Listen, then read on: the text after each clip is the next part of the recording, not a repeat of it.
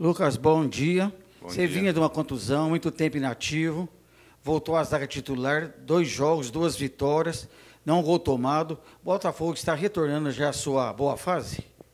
Acredito que sim. É, por ser um campeonato muito longo, é, e a gente vem de um, de um paulista muito forte, né? Acho que esse período que passou de cinco jogos foi o período mais difícil que a gente teve, aí cinco jogos sem vencer. É, e acredito que a gente está recuperando os resultados, né? Que é o mais importante.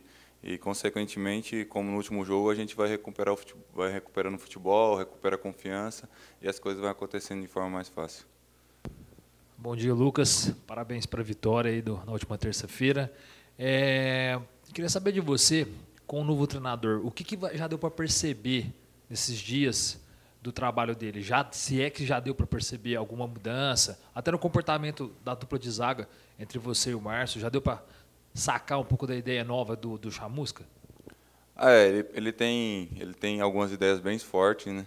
Na questão de mudança, assim, ele ele deixou a gente um pouco mais livre, até porque o que ele acompanhou a gente no, no jogo contra o Novo Horizontino, as coisas deram certo para nós, então ele buscou manter, é, pediu, claro, para a gente ficar um pouquinho mais com a bola, que o jogo do Novo Horizontino foi um jogo bem reativo, eu acho que aconteceu contra o Guarani, e, e ele foi bem claro nas questões que ele quer, posicionamento de área, como ele quer defender a área, como, como a gente vai marcar o adversário em todas as fases de construção.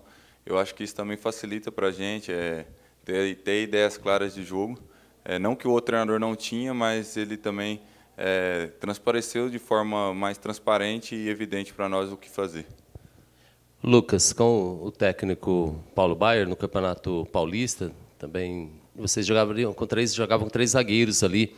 E nessa partida agora dois jogos com o sistema do, do novo técnico, dois zagueiros. Adilson Batista também vinha fazendo dois zagueiros, mas na coletiva até perguntei para o técnico Chamusca e ele falou que não, pode jogar com dois, pode jogar com três, vai depender do jogo. Eu queria saber para você se você se adapta mais a dois zagueiros, três zagueiros, como você prefere jogar dentro ali no gramado? Olha, para mim assim é indiferente. É, eu até sou eu sou um pouco contra a, a, massa nessa questão. Muita gente acha que três zagueiros é um sistema bem defensivo e, e para mim é ao contrário. Para mim é um sistema que a gente tem que agredir mais. É um sistema que nossos laterais estão sempre na linha da frente, não estão na linha de trás. Então, às vezes um time com três zagueiros é um time mais ofensivo do que um time com, jogando com dois zagueiros. Acredito que a, a, forma mais importante assim da gente ter ter uma defesa é ter uma ideia clara de defesa, ter saber o que fazer em todos os momentos do jogo. É, como o treinador, eu vi a coletiva dele, ele falou que é, é, o mais importante foi que o ataque pressionou a bola. Então, acredito que também isso conta em todas as fases do jogo. Se o atacante está pressionando, a gente pode ficar um pouquinho mais alto. Se o nosso ataque não pressiona, a gente tem que abaixar um pouco mais a linha. Então, são consequências que acontecem durante o jogo que vai fazer nosso time subir, ser um time ofensivo, ficar no campo de ataque, ou descer mais e ser recuado. Então, para mim, não importa assim, muito o número, se joga com três, com dois. Eu adapto bem, assim, até o ano passado também eu joguei bastante com três zagueiros no time que eu estava. Vim para cá também, a gente jogava com três. E eu acredito que a gente era um time bastante ofensivo no, no, no Paulista por isso. Era um time que sempre saía na frente dos jogos, porque a gente sempre estava com os dois, nossos dois laterais no campo de ataque. Lucas, bom dia. É, você foi contratado no começo do ano para ser um dos líderes do sistema defensivo e, infelizmente, sofreu com, com muitas lesões. A gente acompanhou, é, é, conversou com você várias vezes uhum. pelo Pantera Cast lá falando sobre é, a sua expectativa de voltar e agora você voltou bem.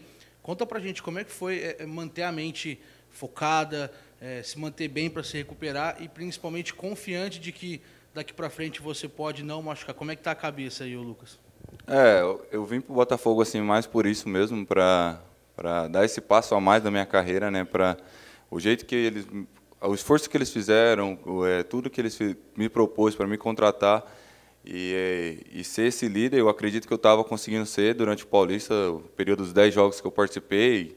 E, e nesse primeiro semestre assim a gente a gente alcançou todos os objetivos nossos como grupo e, e foi difícil assim confesso para você que foi difícil esse período principalmente porque era uma coisa nova para mim eu nunca tinha tido lesão muscular só quebra de cabeça de, de braço de pé então é, foi difícil é, porque a gente tentava fazer fazia tudo correto e ia para o campo e sentia novamente. Então foi até um período mais longo, mas é, acho que os, os doutor, o departamento médico acertou de ser um pouco mais conservador no meu retorno após a após ter de novo a lesão, né, no mesmo lugar, no mesmo músculo e de forma mais grave.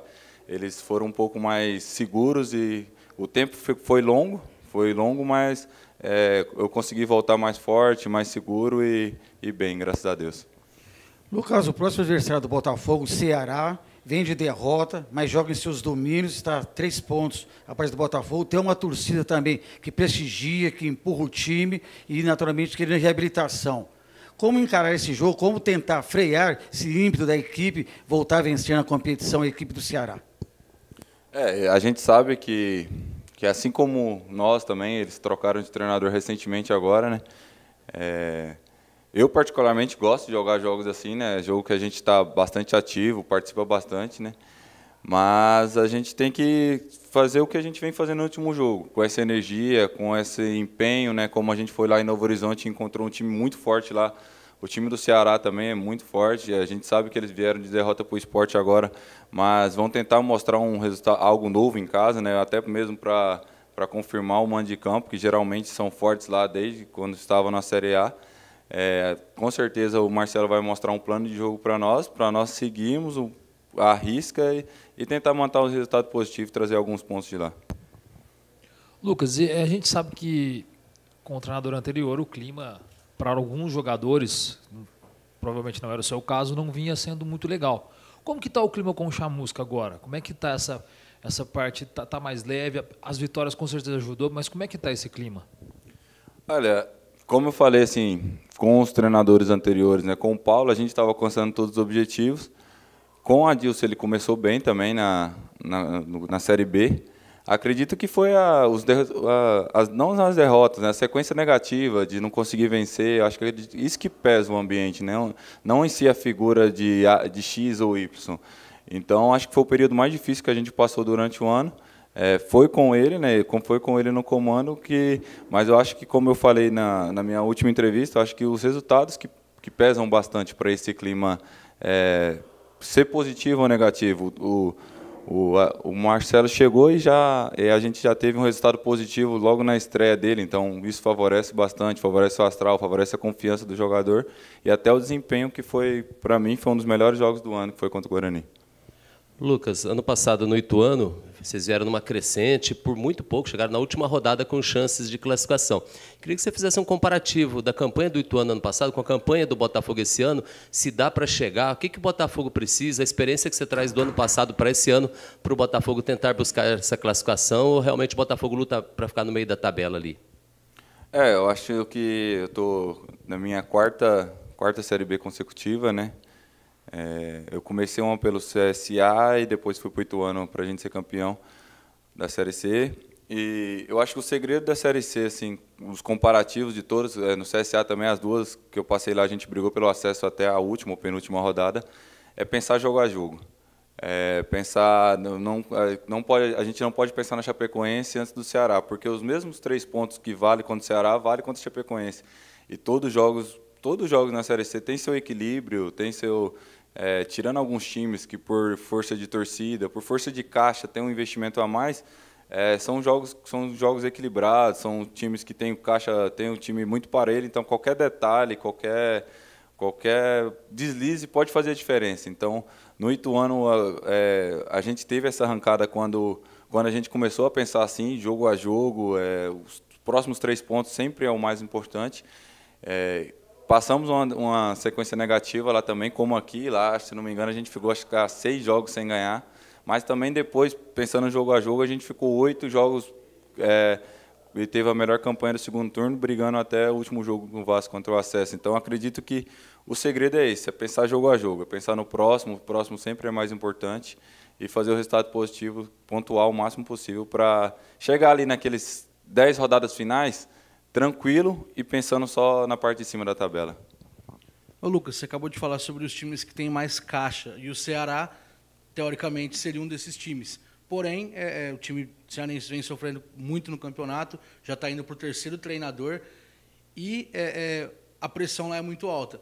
A torcida é uma torcida que pressiona normalmente o adversário. Como usar isso a favor do Botafogo e fazer com que o, o Ceará tenha dificuldade dentro da casa dele? A gente sabe que o, o Castelão é um estádio que sempre tem um, um bom número de, de, de torcedores, mas é, por esse momento irregular que vive o Ceará, Botafogo pode aproveitar disso no jogo de sexta-feira? Ah, pode, pode. Acredito que durante essa última semana foi até, até mesmo aqui dentro do clube foi muito falado da forma mental, né? Até para a gente encarar o jogo em casa, que era, era, era onde a gente não a gente estava tendo uma dificuldade de ganhar os jogos em casa, até por essa nessa questão mental.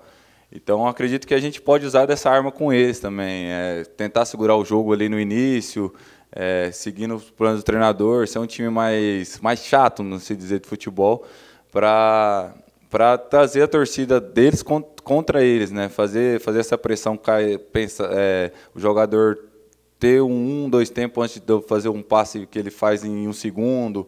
É, é, acho que é dessa forma que a gente pode vencer lá.